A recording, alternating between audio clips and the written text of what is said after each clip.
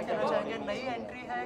पहले का सीज़न आपने देखा था अगर उस बारे में कुछ कहना चाहेंगे बिल्कुल जब मैं थपकी करी थी मैंने सीज़न वन बिल्कुल फॉलो किया था बिकॉज़ ये शो बहुत अलग है। This not a daily soap this is not a very typical crime based show also this has so many elements and जब मुझे देव टू ऑफ़र हुआ आई लिटरली ग्रैप डेट मुझे ये मौका मिला, ये अपॉर्चुनिटी मिली जो मैं कैरेक्टर कर चुकी हूँ एक एक पास्ट में।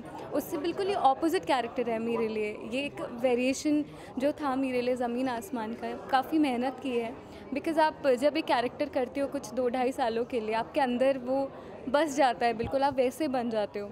बहुत कुछ अडाप्ट कर लेते हो उस कैरेक्टर से और मेरा मानना ये है कि एक एक्टर जब कोई किरदार निभाता है ऑन स्क्रीन तो उसकी पर्सनल लाइफ से भी बहुत ना I think sixty to seventy percent वो किरदार लेकर जाता है।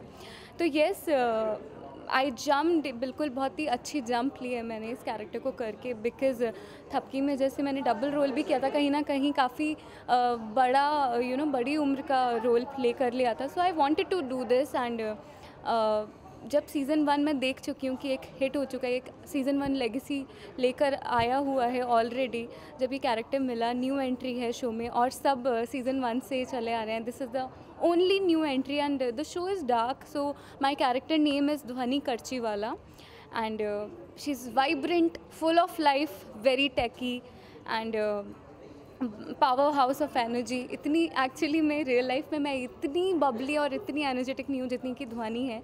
सो so, इनिशियली काफ़ी मेहनत की है इस कैरेक्टर में बट नाउ आई फील कि मैंने काफ़ी हद तक इस कैरेक्टर को जस्टिफाई करने की कोशिश की है। So you need to see Dev season two which is starting from twenty fifth June Monday to Thursday ten thirty P M के किरदार को आपको बहुत ज़्यादा प्यार मिला था बिल्कुल। इसका फ़र्स्ट सीज़न को बहुत ज़्यादा प्यार मिला था तो बिल्कुल। तो इसका प्रेशर रहेगा कि अच्छा ही करना है या फिर एक्चुअली प्रेशर की जगह मैं समझती हूँ ये एक प्राउड मोमेंट है मेरे लिए कि आ, मैंने अगर थपकी किया तो मुझे इस यू नो प्रोड्यूसर्स ने भी चैनल ने भी सबने एक रिस्क लिया है बिकॉज़ जो मैं कैरेक्टर करके आ रही हूँ ये बिल्कुल ही ऑपोजिट है उससे।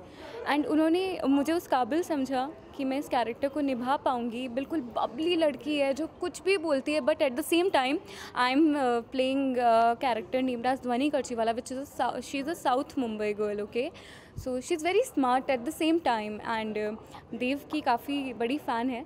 ब्लॉग्स uh, लिखती थी उनके बारे में। क्रिमिनोलॉजी की स्टूडेंट रह चुकी है। सो so, देव के सामने देव के साथ जब फाइनल इंटर्नशिप करने का मौका मिलता है तो कैसे देव के वो करीब जली जाती है? You need to see that कि मैं कैसे उनसे काफ़ी सारी चीज़ें सीखती हूँ उनको केस सॉल्व करते हुए देखती हूँ।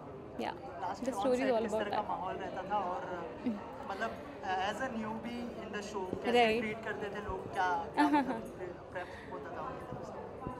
newbie in the in the show okay okay actually क्या है ना कि आप जब एक डेली सोप करते हो एक नॉर्मल टेलीविज़न शो करते हो एक सेट होता है प्रॉपर इस शो की खासी खासियत ही है इसमें कोई सेट नहीं है. इतना पेसी शो है. कभी हम एक समुद्र पर शूट करते हैं कभी हम किसी आइलैंड पर शूट कर रहे हैं कभी हम किसी चौल में शूट कर रहे हैं. This is so real and at the same time सबसे अमेजिंग बात यह है कि सिर्फ़ क्राइम बेस्ड शो नहीं है हर कैरेक्टर की देव की महक की नार्वेकर सर की मेरी सबकी अपनी पास स्टोरीज़ हैं जो कि और अमेजिंग बहुत ही थ्रिलर है या thank you so much thank you so much thank you